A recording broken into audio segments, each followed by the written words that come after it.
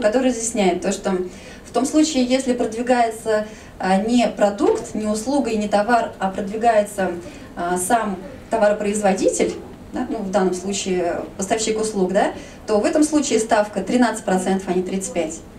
И получается так, то, что не нужно акцентировать внимание на услуги именно, например, ну просто там фотоконкурсы. В основном это относится к конкурсам. И в том случае, если э, не нужно что-либо приобретать, не нужно заключать договор банковского счета, то в этом случае 13% ставка.